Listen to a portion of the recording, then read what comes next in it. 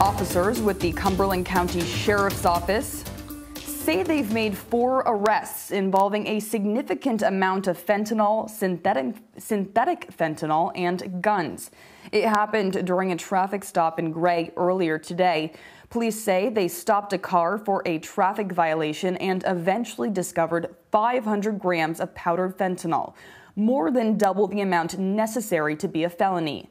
Police arrested Trisha Tanzi, Thomas Coswell, Sean Lebel, and after those arrests, police say they were led to a hotel room in Naples where they arrested a fourth suspect, Jasmine Marie Moore.